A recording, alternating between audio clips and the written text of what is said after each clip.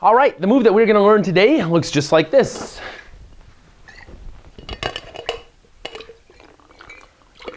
There you have it.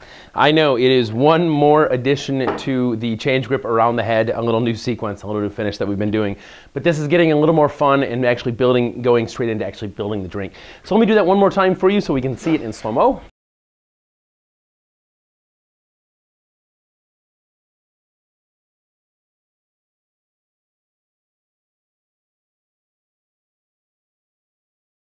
And then we go right into that pour into a drink. I'm to switch over to a practice bottle here and a dry tin.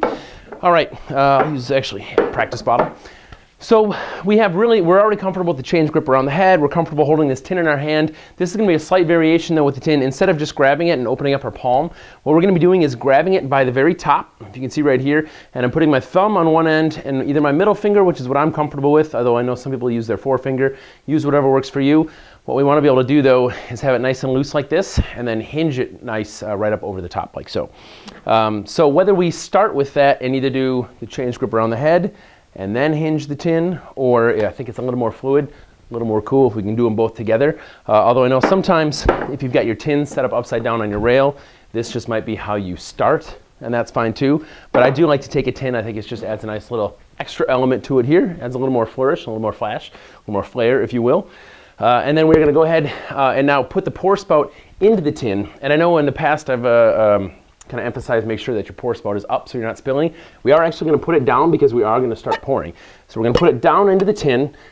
And really the key to this part and getting this comfortable, the part that some people struggle with is this roll down because you don't want it to slide all the way into the tin, get stuck in there, and you don't want it to fall over the back of your shoulder. It's really a matter of getting two fingers on the tin so that we're comfortable with this. I know we've done the hinge, but when I do that, I really latch on with that other finger.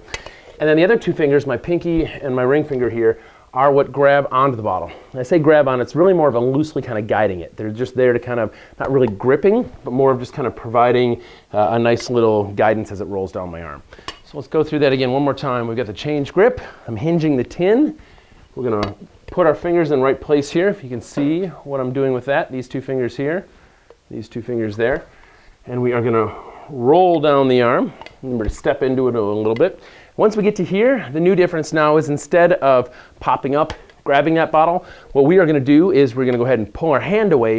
And what I like to do is just let the momentum, the weight of that bottle is gonna cause some momentum to let you go ahead and just kind of what I call the scoop, just this nice kind of fluid circular motion, scoop into a pour, and then from there you can get a little flashy and kind of add some nice kind of dimension here by lifting up the bottle, kind of getting a nice long pour, and then just twisting my wrist kind of letting my, my fingers hinge there, going into a pour, even double pouring with both of those.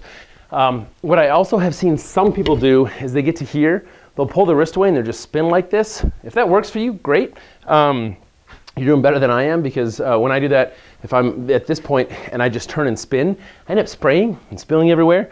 Uh, but that's my like. I've seen some of the people that do it, and that's what works best for them. The scoop for them actually is a little more confusing. So do whatever works for you. I'm to go ahead and do it one more time here with a live bottle so you can see what we're working on. This is the change grip around the head, the arm roll down into a glass, nice little flourish like so, and then we are going to go ahead and pour that into the drink. That is today's move. Good luck. Practice, practice.